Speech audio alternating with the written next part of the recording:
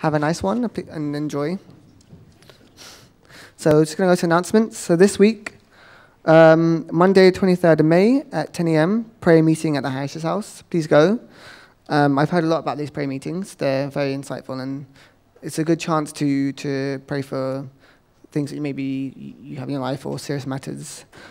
Uh, Friday, 27th of May, 7 p.m. is a DP evening study at LG. Sunday, 29th of May, home service. Uh, there's no service next uh, week because it's half service. Um, Monday, 30th of May, and Sheol pledge service. Uh, Sunday, 5th of June, 11 a.m., we have a joint service with North London Church at Cassiobury Park in Watford. Also, Blessing Information Day, um, the, the, dates and places. So the 29th of May is at Newcastle. Uh, the, 9th, the 4th of June is at Edinburgh in Scotland. 19th of June is at Birmingham.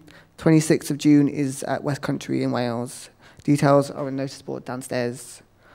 Upcoming Holy Day, a Day of All True Things celebration. So uh, on the 5th of June, um, 11 a.m., we have at Cassiobury Park a joint service where we also will be celebrating Day, Day of All True Things.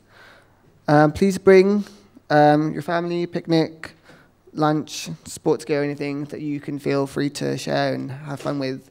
Um, hopefully the weather is good, so maybe we can try and pay for that. If not, um, we will be joining them in the uh, Harris Civic Centre inside. So, you know, we will all have a service together. Don't worry. Um, an evening with uh, Nathaniel Pete and Sebastian O'Connor, um, organised by Youth Universal Federation UK. The date is Thursday, 2nd of June, 2016. Refreshments from six. Uh, refreshments. It starts at 6:30 uh, refreshments at 6 o'clock. Um, place is Lancaster Gate.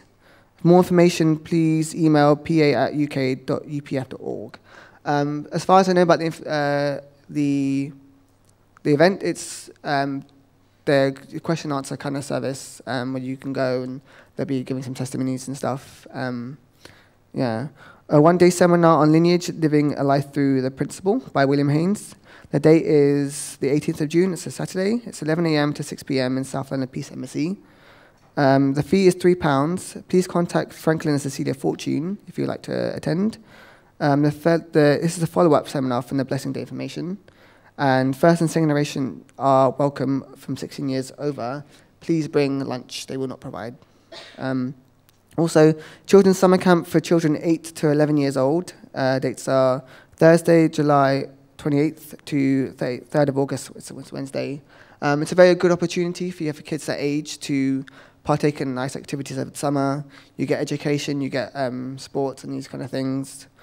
Um, FFWPU European News. If you'd like to get any more further news, please go to the website of uceu.org, um, where, where you'll find Peace TV weekly updates and Two Parents magazine. There are other workshops available for the summer, so there are European workshops you can, your children can go on. Um, so please contact esg.org to find all the details. We also have three UK workshops um, this summer. Um, a sports workshop, junior and a senior. So the dates are the 5th to the 7th, no, 7th to the 12th of August, which is uh, the sports workshop. It's for any age from 12 to 18, and just because it's a sports workshop, don't think that, you know, the, your daughters or your sisters wouldn't go, but it's, it's welcome to anyone. Uh, the junior workshop is the 16th to the 22nd of August, and that's from the ages of 12 to 15. Also, 22nd to the 8th of August is the senior workshop. That's 15 to 18. So if you have a child or sibling that's 15 years old, they can choose to go to either or, but they can't go to both. So if you'd like to find out information, please um, joy, uh, please ask any of the Heart Committee, which is me, Sonia Liz, um, and Johnson for any more information. Thank you very much. I'd like to welcome up the, the, the band back on stage.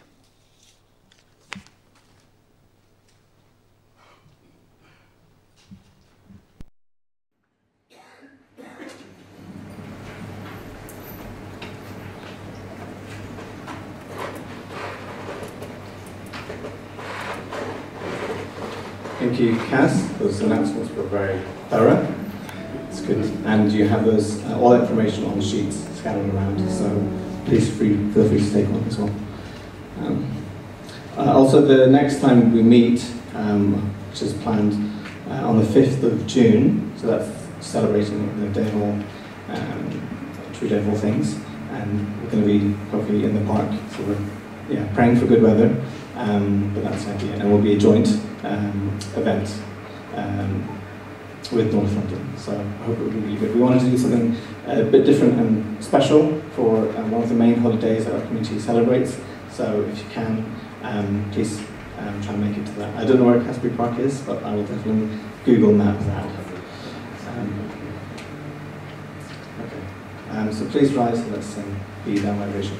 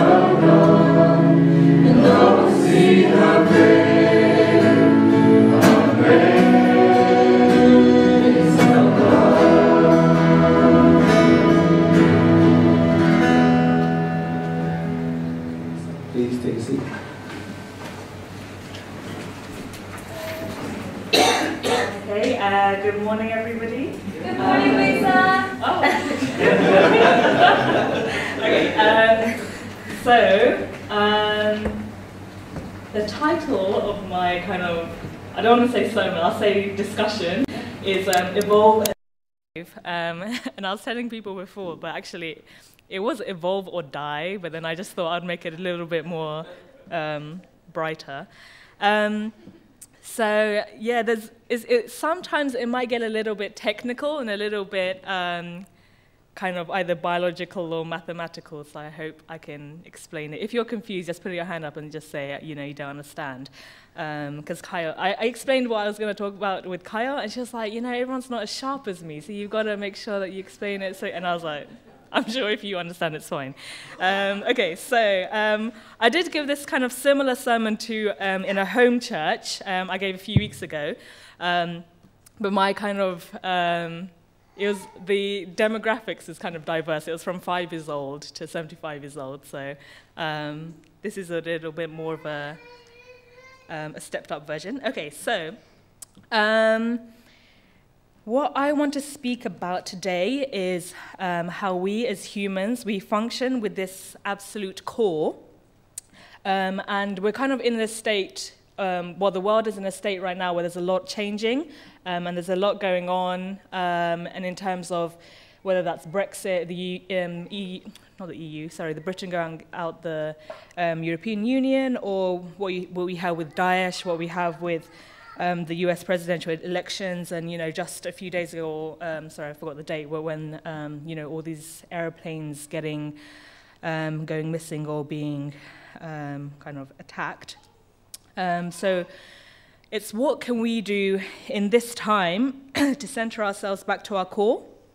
And the ultimate answer would be is we have to make an active choice to evolve and thrive. So um, I just want to start with a very kind of heavy-ish question.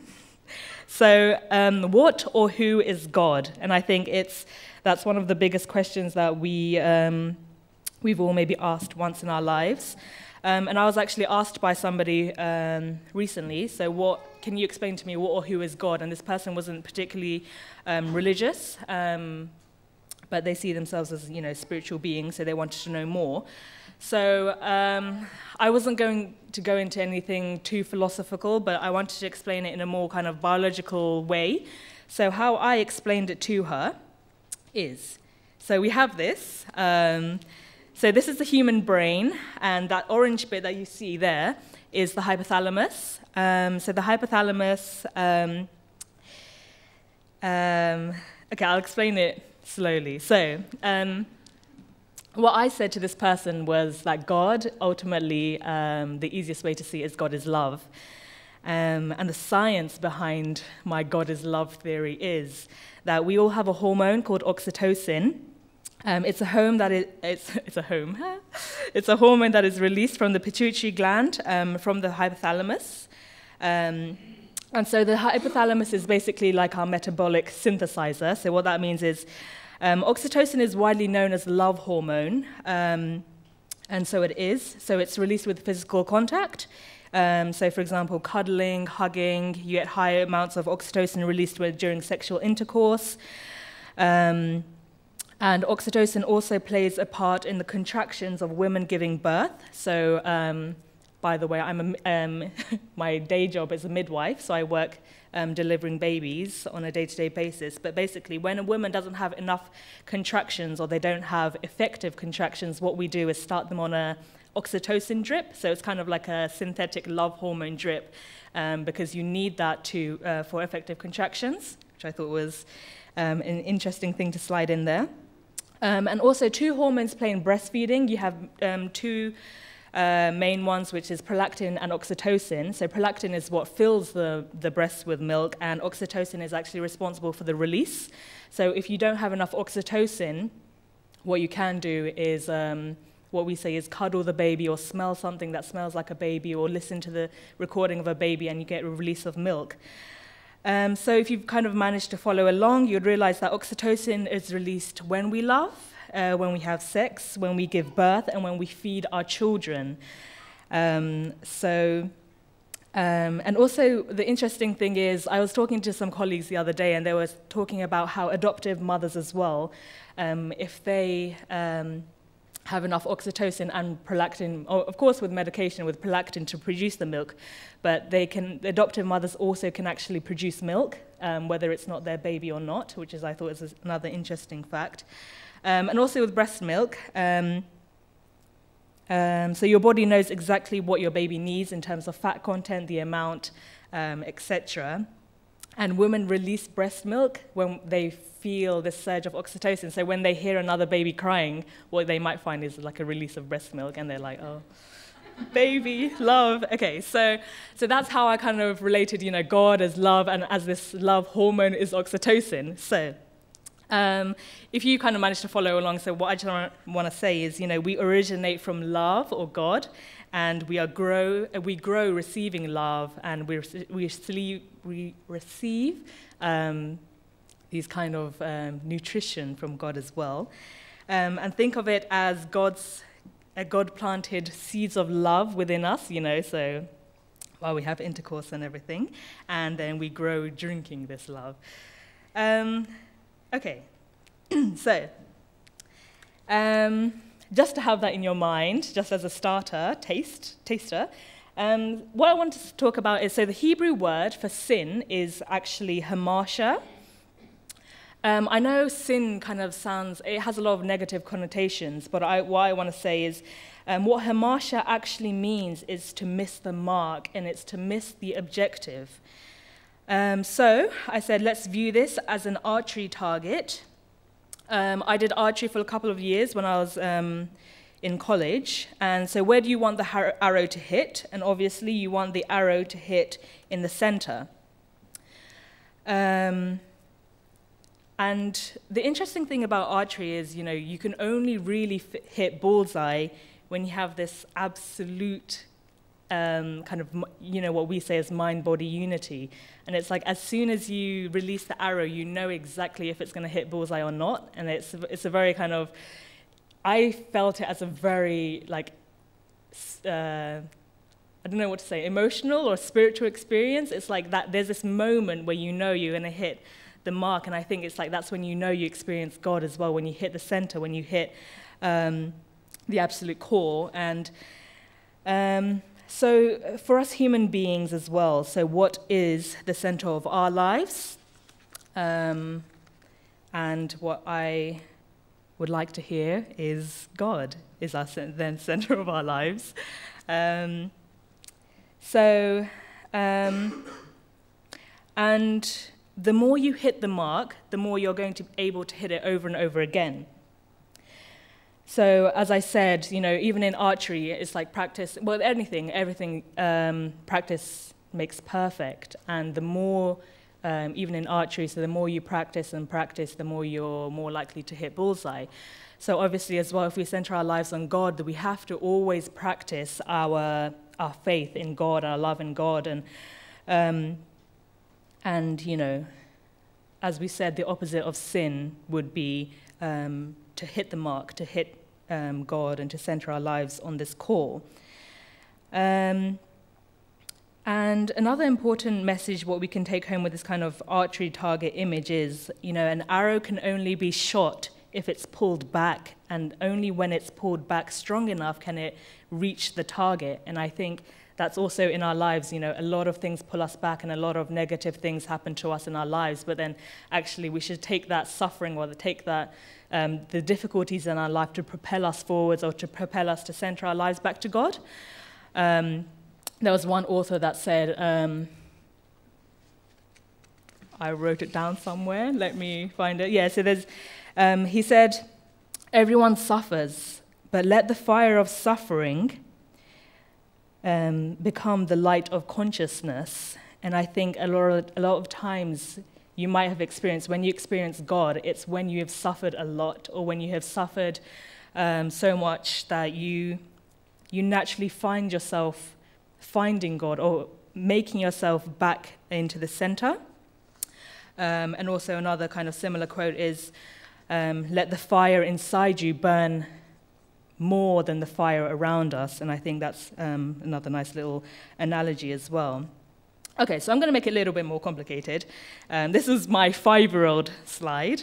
Um, so this is how I kind of perceive it as um, a little bit more complex, but this is how I perceive humans. So at the center, what we have, um, whether, you know, whatever scale you're on your spiritual or kind of religious, um, like, radar, in the center we have God or our core or our core values, um, what we say is Heavenly Father. Um, and then what I put as the second circle is Mother Nature or human biology in the creation. Um, and I'll go into these a little bit in detail. So the third circle I see as what divides us or what makes us different as humans. So, for example, our country, where we come from, our culture, our race, our religion, and on the outer circle, it is things. So things like money, um, housing, etc. So what we might see is in the center is something that is absolute and something that is unchanging. And as we go out the circle, we see uh, what is uh, more temporary and more changing and more volatile. So just to go into detail, just to make it very clear to you what I mean by my slides, because it might uh, make a little bit, uh, might create a bit of confusion to some people. Um, so in the center, we have the core. So in the core, as I said, we have God or our core values. Um, or our Heavenly Father. So the core is the nucleus in an atom. Um, no, that doesn't make sense. The core is the nucleus in a cell, or it would be the proton or neutron in an atom, to be specific. But, um, or for example, the sun in the galaxy. So the core is absolute; it is the source of all life, and it remains as the center. And then we have things that revolve around the center. Um, and what I call the second circle is the co-core. So this is um, the reason why I put this there is the co-core is what works in unison with the core. However, the co-core is not absolute.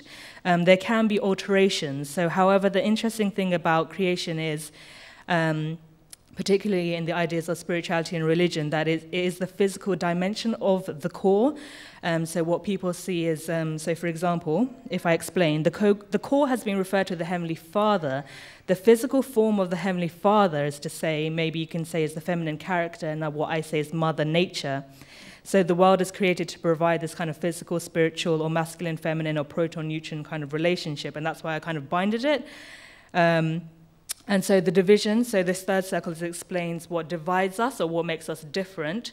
So, for example, our culture, our race, our religion, our country.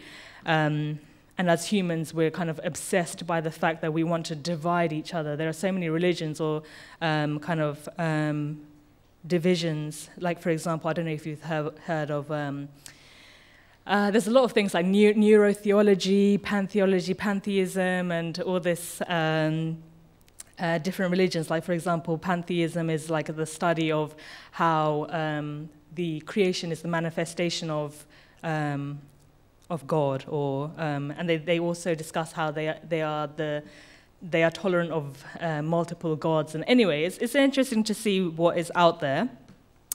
Um, but this is basically what makes us different, and it's and I think a lot of the time this is what we identify our identity as. So you know, it's like oh, when we're asked who are you or where are you from, we say oh I'm Japanese, I'm um, but I was brought up in England, and you go into this long kind of trail about your identity. um, and then on the outer circle, obviously, we have the more temporary things like the, the money, the property.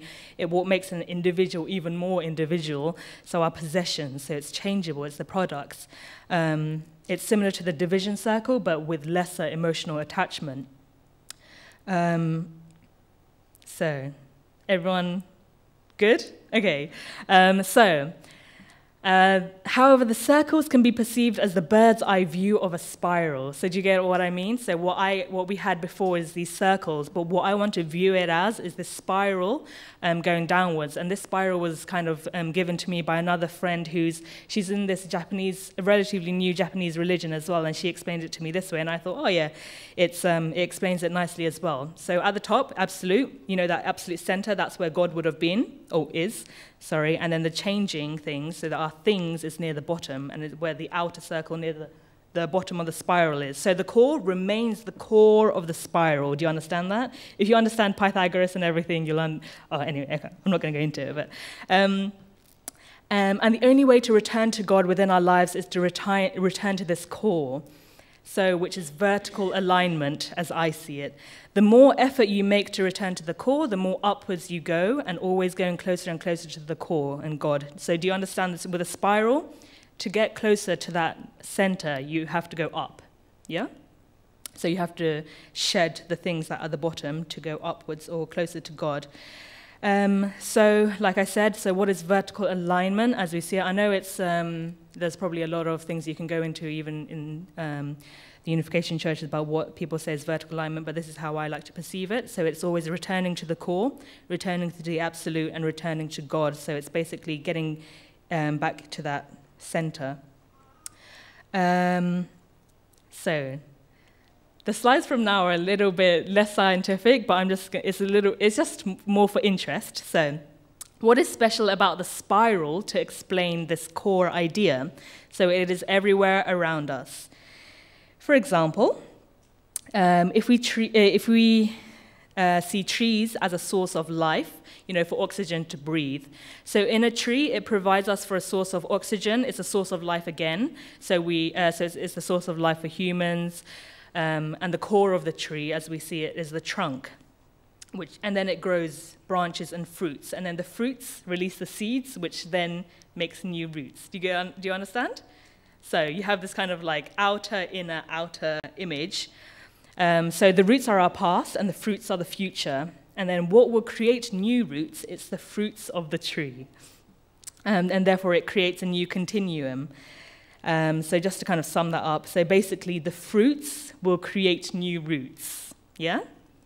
Um, uh, okay, so where is the spiral in all of this? I've made these fancy diagrams for you uh, to make it easier to understand. So, you know, um, can you see the spiral that I explained? Um, but I just put it in, in the shape of what the image of a tree looks like. So the core is absolute. You can see that the trunk is always aligned to the core. Um, and also, so the German word, this is just an interesting fact, but the German word for breathing atmen is derived from the Indian Sanskrit word Atman, which means the indwelling divine spirit or God within. So, interesting fact there as well. Um, and so, if we lose the core, if we lose the center, for example, if the trunk doesn't grow, there will be no fruits. Um, the, just the other day, I'm a bit of a gardener as well, and um, I had these um, plants growing, and then it snowed for five minutes, and then it ruined all the stems, and then the roots are there, but because the stem didn't grow, it doesn't create, it won't create new fruits, it won't turn into a flower or a vegetable that was growing. So if we lose the core, um, there will be no fruits. So we lose that continuum. And as in man, if we remove the core, so God from our lives, there will be no fruits, i.e., fruitful offspring. And for example, if, you, if the idea of God is a bit too much, then for example, if we lose our core values, humanity will be lost. And as we have fallen people, we will eventually have a fallen world because we stop this continuum that was made to um, be eternal or be um, self sustaining. Um, and that's how I see, you know, it's, I think in this day and age as well, where we have so many things happening in this society, it's, it's a bit ridiculous. It's a bit of a joke, but you just can't laugh about it. And then, um, you know, and you just realize it's like everyone seemed to have lost their core values, and you just see humanity in itself, I don't know, self destructing. And there was a book I read that there's been five major um, extinction periods in our kind of lifetime, not our lifetime, sorry, in the course of history. Um, and they're saying we're very close to a sixth extinction, but then that extinction it will be due to the um, due to man and not natural processes as it was in the in um, in history.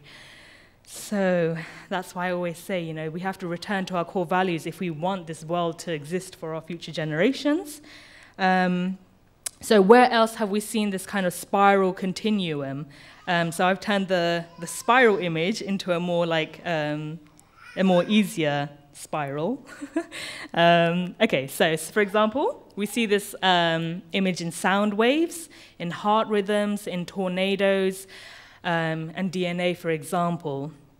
Um, so if we kind of just have that image in our minds, there's this slide. So um, this is a fun example. Kyle was like, this isn't very scientific. And I just thought, you know, it's a bit of fun anyway. So um, the shape of this continuum, is, so it creates an M and a W. Um, and perhaps, you know, it signifies a man and a woman.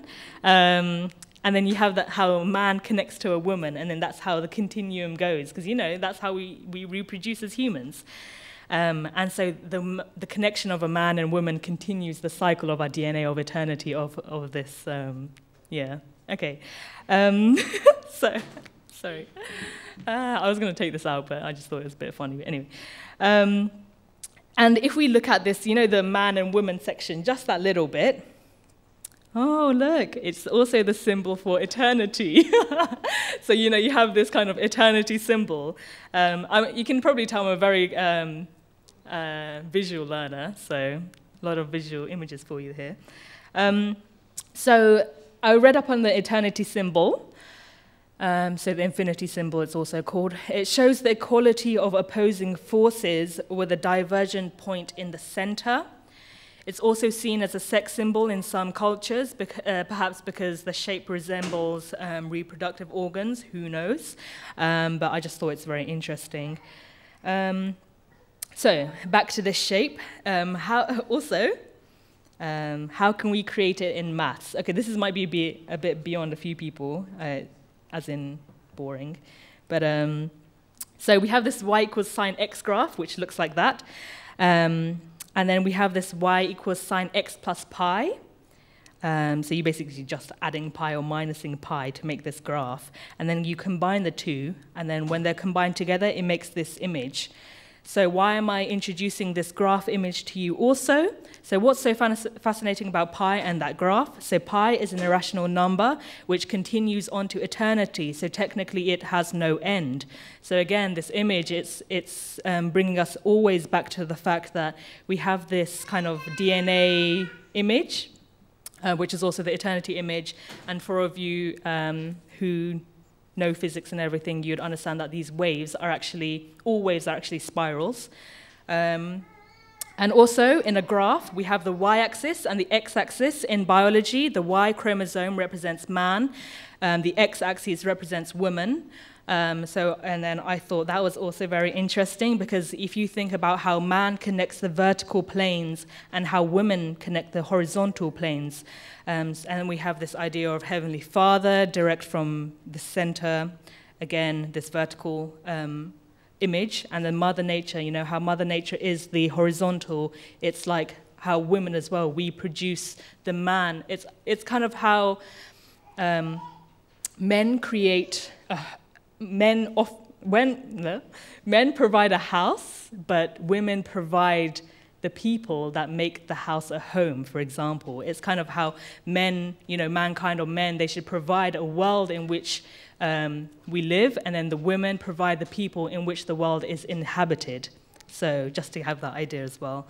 Um, and it's very interesting because I think in the Unification Church we talk a lot about how subject and object, um, how man is subject to woman, or how we are objects to, um, to God. And, and yeah, it's just seeing the parallels in, um, in creation and in the universe. Um, and also an extra fact. Um, where else do we see the pattern? In the galaxy, the whole solar system moves up and down within 500 light years distance above and below the galactic plane or galactic equator. So I didn't know if you know that, but apparently it does. Um, and again, it's not just this spiral, it works in a, in a continuous um, spiral continuum. Um, so, in all these examples, we see that they only function with a core which influences its direction. All of these things needs a central core in which it functions and in which it um, circulates. Um, so, um, and so, okay, so now that we understand that we have this core, how do we always return to this core? Um, we must make a habit to center your decisions on this core. So we must center all our decisions to center on God, or back onto love, or back onto goodness, whatever you want to see your core as. Um, and for example, so who teaches your children or your grandchildren or um, whoever about God or core values?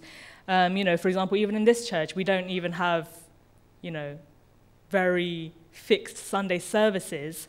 Um, and we have Won Hwa Do. I mean, don't get me wrong, I love my Won Hwa Do, and I did kendo as well, so I love this whole. Um, yeah, but to be honest, it's just exercise at the end of the day, um, and it's um, and it's like you have to have this spiritual idea as well. It's like, for example, you have an obese person, you, and you know, for example, okay, we send our children to summer camp or these heart workshops, and there's a lot of them, and it's great. Oh, there's so much activity going on.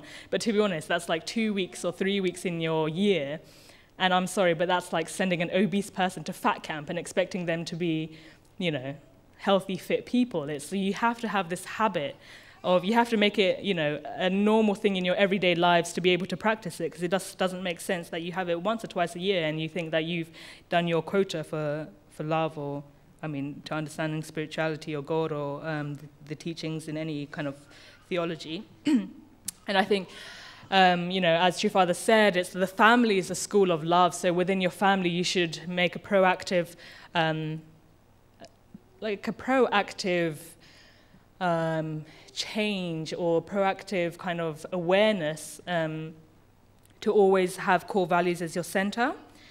Um, so I'm going to talk about perspective and how we must create an environment conducive to God or love or to our core values. Um, so Eckhart Tolle, um, he said, the ultimate purpose of human existence is to see that you cannot find yourself in things that continuously pass away. So, for example, my outer circles. And Jesus also said, you have to deny thyself, so deny the things that make that you think is your identity. So, for example, these monetary things, these cultural things, or these religious barriers or cultural barriers, you have to deny thyself, and you have to have a connection to the innermost core of yourself.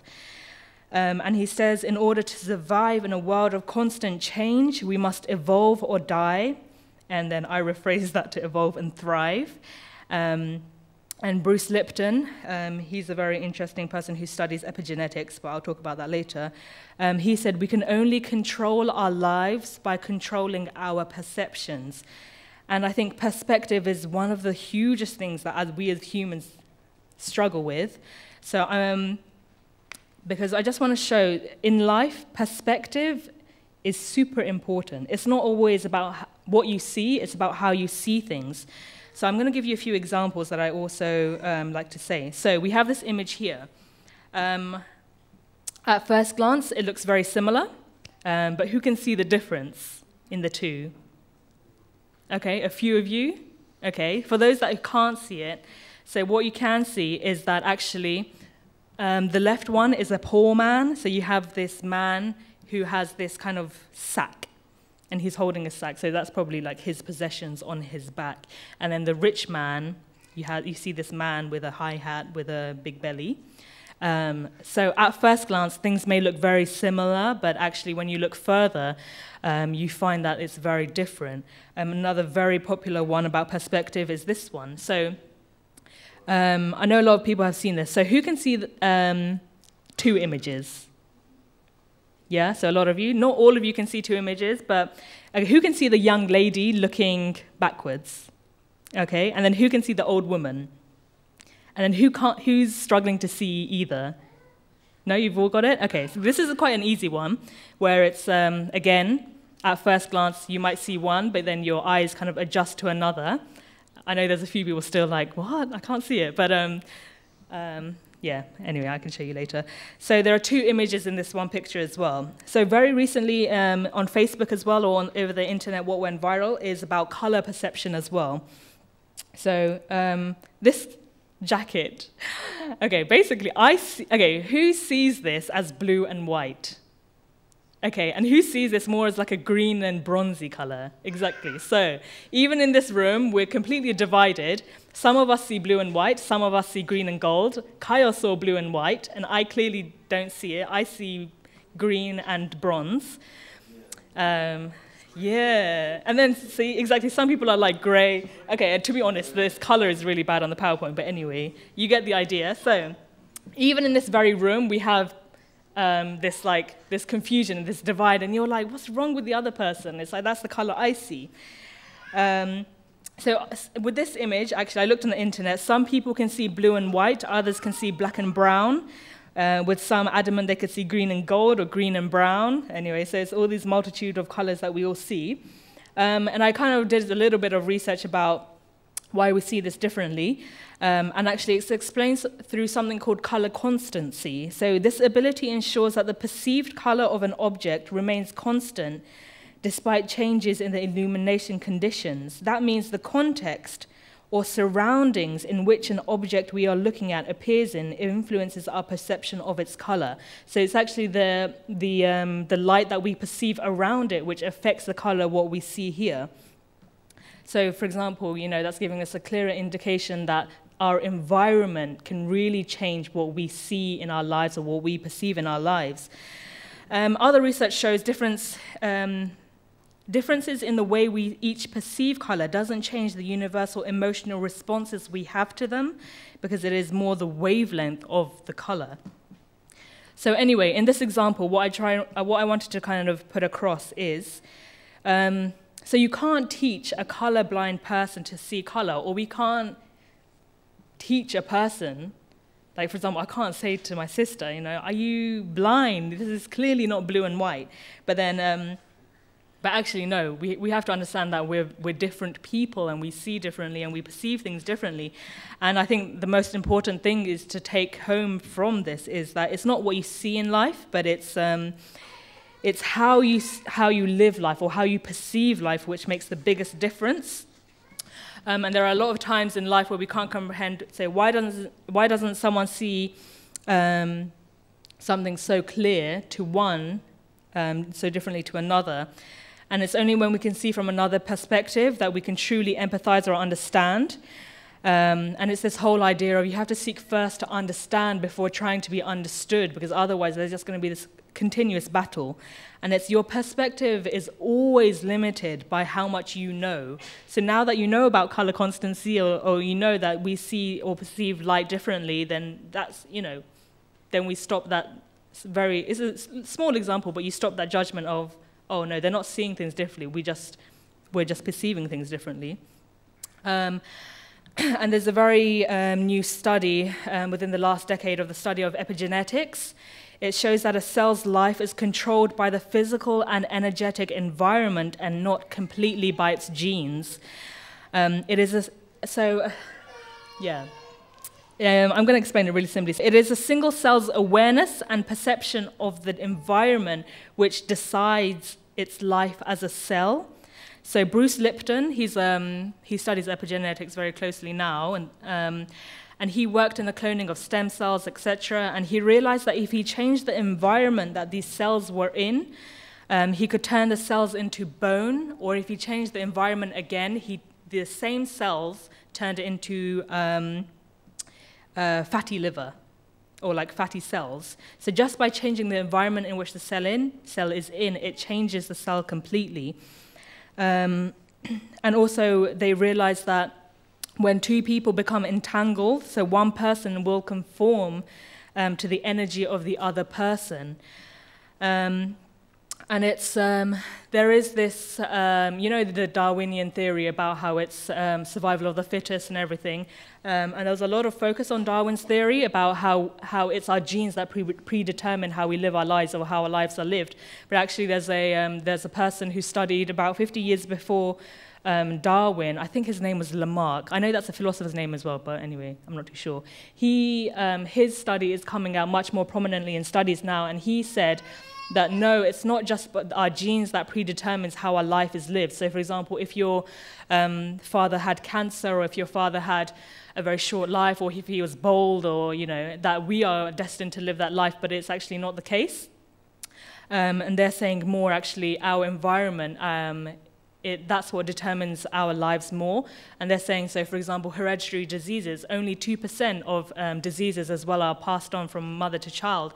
And um, and for example, I mean, of course, things like sickle cell thalassemia, they're blood disorders, they're very um, entangled, well, uh, they're very, um, hand in hand with genetics. But so, for example, cancers or even breast cancer, what they thought was, you know, as soon as your mom has it, or ovarian cancer or things like that, as soon as your mom had it, you, you're basically told that you're going to have it in your lifetime. But actually, they've found out that now breast cancer only, so 95% of these aren't gene determined, it's actually environmentally determined.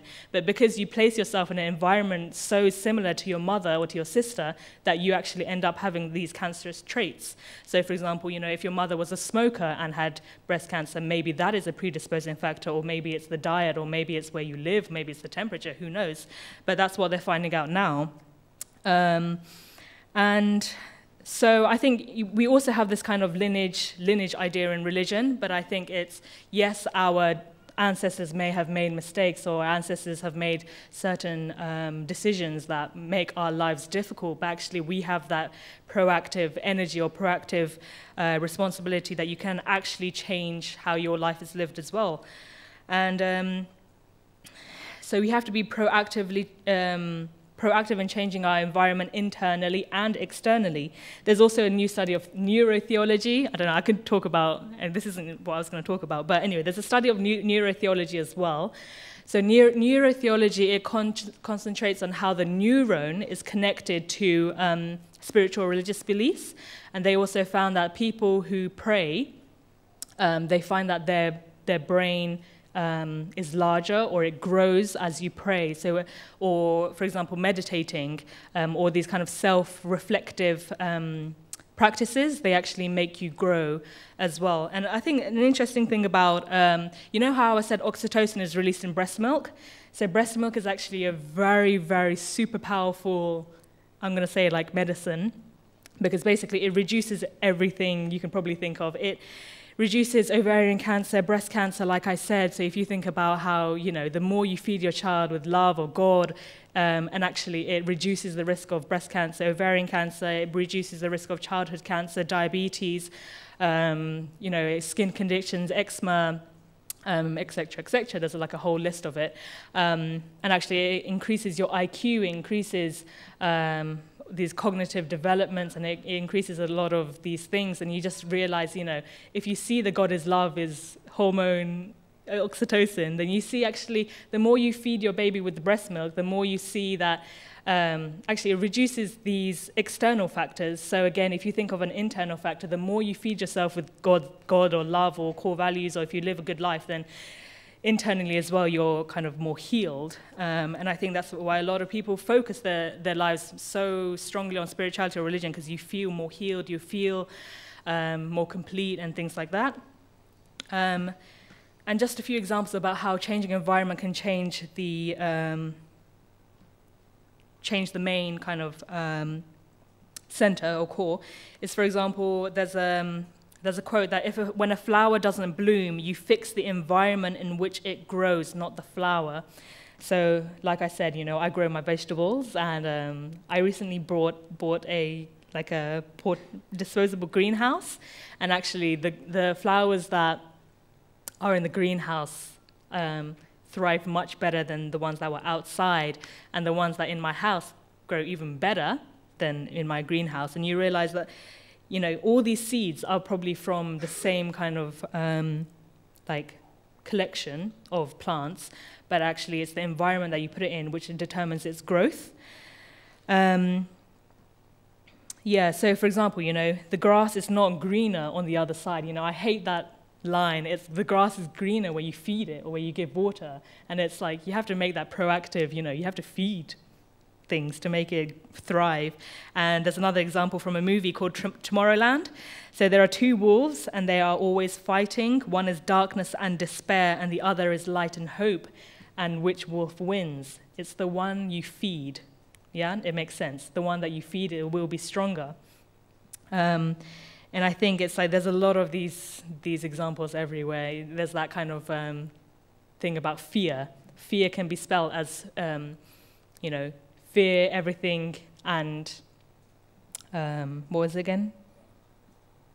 Fear everything and something about anyway, the other one is fear everything and something like bad, or it's face everything and rise. And I think it's like there's that. There's always a different way you can change it. Just as you, when you change your perceptions, it changes the um, the direction.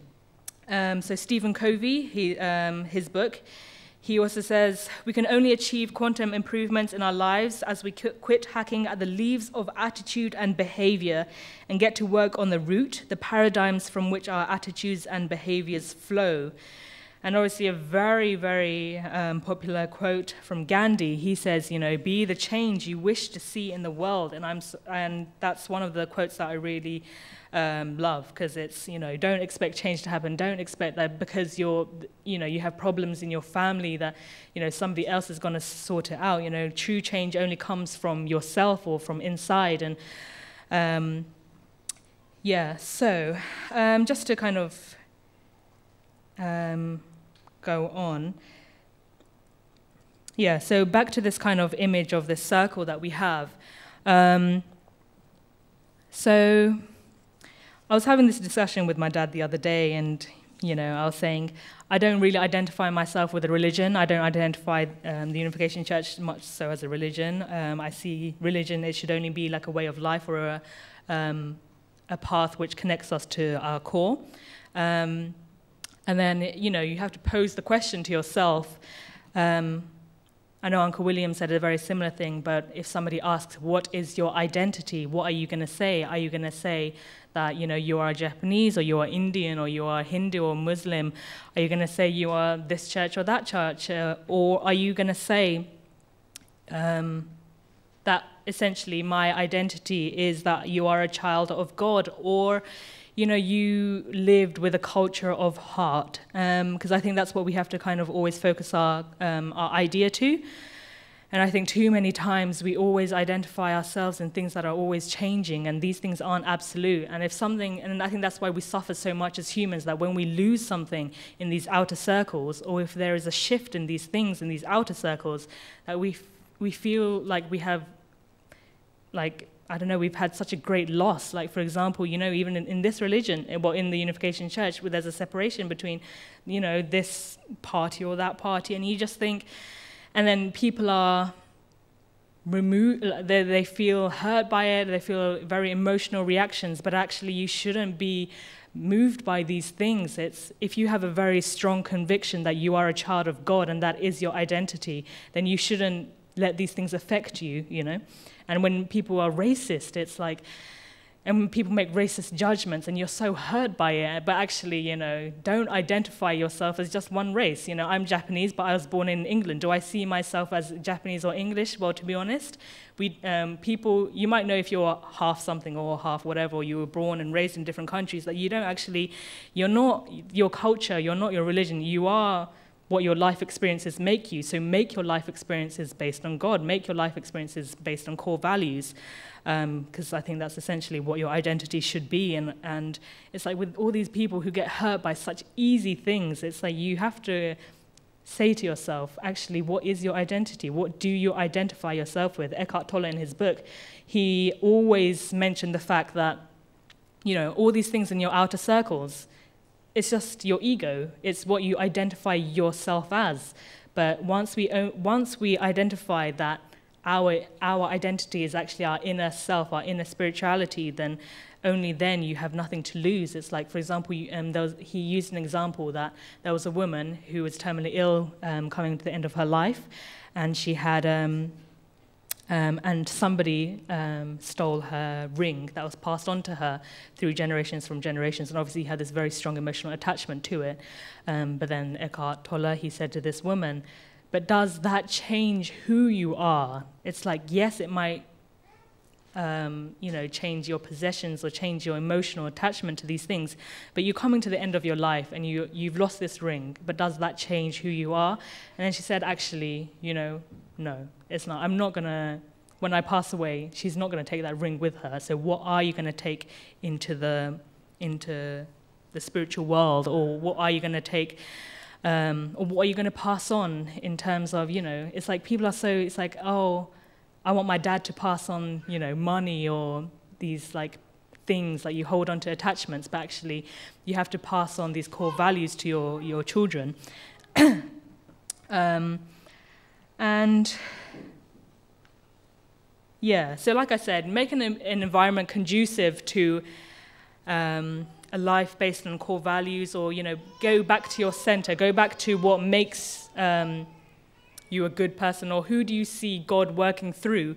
And I just want to talk about. Um, I'm kind of near the end because I know it's um, nearing that time, but um, I'm just going to give you some examples of who I see very close to God, or who I who I really um, experienced God through and my, the core values, you know. And by core values, I have a page of things that I really like, like, you know, anyway. Um, about, it's about humility, it's about love, and it's about acceptance, and it's about forgiveness. And um, so one of the examples is my Japanese friend. She's, um, yeah, called Natalie. So we were um, in Japanese school together, and she got leukemia when she was um, 12 years old, um, and it was to the point where, um, you know, they said if you discovered it any later, you would really have not survived. Um, and then anyway, she had a lot of treatments, and she even to this day she has problems, even if it's you know eight years on or 10 years on. And you know, at the same time as, as battling leukemia. Um, so her parents were going through a divorce and everything, and she was anyway um, quite hit by rock bottom. But I think one of the things that she said um, growing up once, she was like, if I was to, um, if my friends were to have cancer or to, to have the leukemia or to go what, through, to go what I did, I would rather have it again. And I think it's that heart of, she's always, she has this heart of, you know, if my friends don't have to suffer, then I will suffer for them. And I think that's, it's a very, um, it's that idea of, you know, Jesus on the cross, he is every man and he is every woman of, um, you know, of that I will take your pain and I will, um, yeah, anyway. So, um, and another person, um, so my partner, so he, um, I'm a very stubborn person. I get really frustrated or ang- angry at some situations irrelative to him. But you know as women we as one, once we're angry we, we focus our anger on everything. And anyway so when, in terms of when i'm super stressed um, sorry um, i take it out on him and i um, anyway um, you probably know how it is.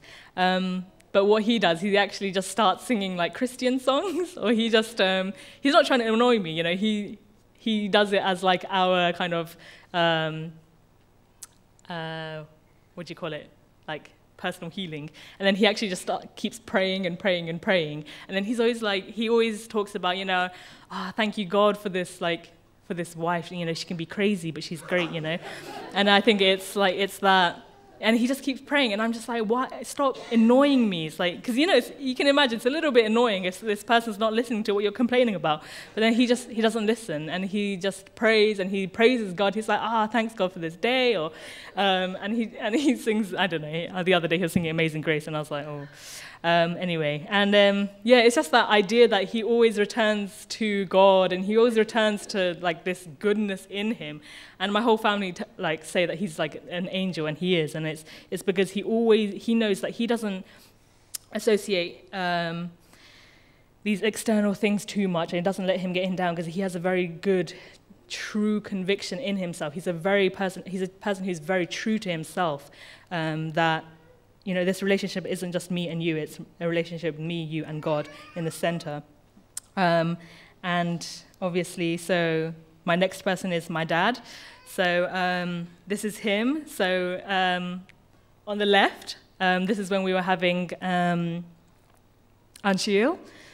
Um, and then my, my mom had um, damaged her back, so she couldn't um, stand and pray with him. So then my dad was like, okay, let me pray. And then he, you know, instead of even going on the sofa or just holding her hands, he went on the floor. And he's that kind of person where he will always um, raise people up above himself. He's like the most hu- humble person that I've ever met.